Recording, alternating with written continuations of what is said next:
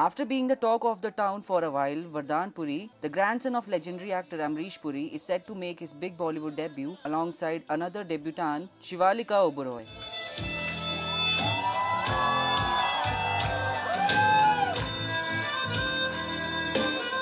The duo will feature in a twisted tale of love in a film titled Ye Sali Ashki. Produced by Dr. Jayanti Lal Gada and Amrish Puri film, this Bollywood romantic thriller has been directed by Chirag Ruparel.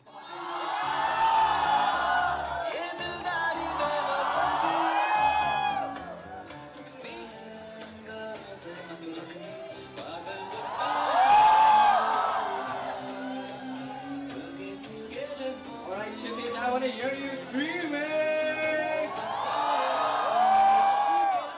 ऐसा लग रहा है कि दोबारा घर पे आ गया हो। जवानी यहीं पे गुजारी मिठी भाई कॉलेज एनएम कॉलेज एस के जितने भी कॉलेजेस हैं यहाँ पर तो बहुत इमोशनल मोमेंट है। एक दिन यहाँ बैठ के सपने देखते थे और अब अ, सपना जो है हमारा पूरा हो रहा है साकार हो रहा है।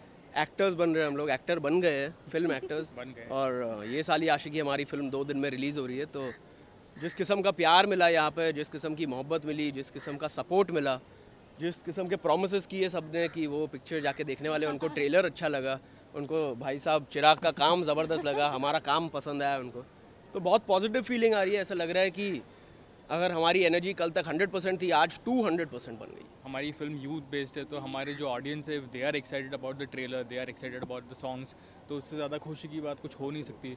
एंड जो प्यार हम लोग को मिला है, वर्धन, शिवालिका को एट वॉज़ रियली आउटस्टैंडिंग तो बहुत अच्छा लगा।